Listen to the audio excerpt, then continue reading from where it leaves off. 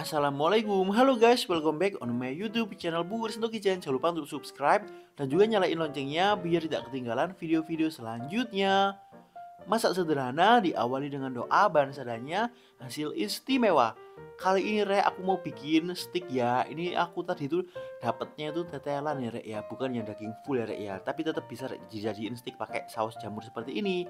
Ini dagingnya sama kayak gaji-gaji gitu Rek ya. Ditambahkan tepung roti, bawang putih, telur, sama dikasih lada, gula, garam ya rek ya. Ini kita haluskan, kita chopper. Kalau nggak ada chopper boleh dicincang-cincang kasar ya rek ya. Terus dicampur sampai tercampur ya rek ya. Terus dibentuk, dipipihkan seperti ini loh rek ya. Kalian pipihkan aja, kalian bentuk pakai sendok ya rek ya. Sampai seperti ini ya tipis-tipis juga boleh agak tebel juga boleh rek ya sesuai selera mau bulat panjang kayak burger juga boleh rek ya kalian siapkan teflonnya panasin itu rek ya minyak. Tunggu sampai panas dulu baru kalian panggang itu rek sticknya tadi rek. Ini tuh namanya kayak hamburg stick gitu loh rek. Ada kok di Jepang rek. Hamburg hamburg stick gitu. Tinggal dibolak-balik aja tunggu sampai mateng deh. Tuh ini ya rek ya. Ini dijamin 100% empuk rek. Kalau nggak kalau kalian makan nggak empuk ya gigi kalian masalah paling rek. Karena ini bener-bener empuk banget ya rek ya tuh. Jangan lupa dipencet-pencet biar biar apa ya biar cepet matang aja sih. Gitu deh. Ini aku bikin satu porsi aja ya rek ya. Karena dapatnya cuma dikit. Tambahkan bawang putih biar aromanya tuh makin wangi rek. Ditambahin rosemary juga makin enak sih rek ya. Kalau udah siap diangkat. Untuk pendampingnya di sini aku mau menggoreng kentang goreng ya. Kalau kalian uh, mau potato wedges atau mashed potato juga boleh ya rek ya, sesuai selera.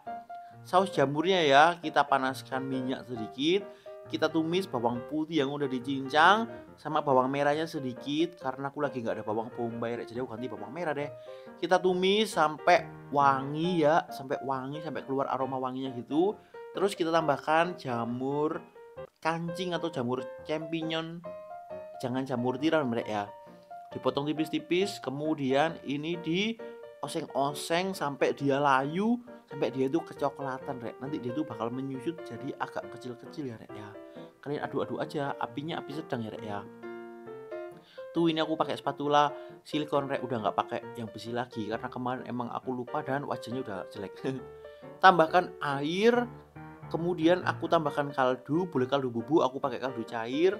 Kemudian ada lada terus gula garam terus diaduk-aduk sampai tercampur kemudian ditambahkan krim atau susu cair UHT juga boleh ya.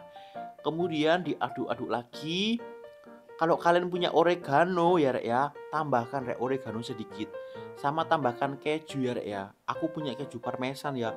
Kalau kalian mau pakai keju cheddar boleh banget tinggal diaduk-aduk ditunggu sampai mengental. Kalau pakai krim kan pasti kental tuh. Kalau pakai susu UHT biar kental. Kalian tambahkan larutan air maizena ya rek ya. Gitu deh. Kemudian tinggal kita susun deh. Di sini ada sticknya tadi terus ada salad. Boleh kalian rebusin wortel buncis jagung sayur-sayur rebus juga boleh. Ini aku ganti salad aja. Terus ada kentang goreng. Tinggal disiram pakai saus jamurnya rek. Mushroom sauce ini creamy enak gurih ya rek ya. Kalian wajib coba rek. Ya ini inspirasi buat kalian masak-masak di rumah. Selamat mencoba ya. Terima kasih sudah menonton. Jangan lupa untuk subscribe like share dan komen. Sampai jumpa di video selanjutnya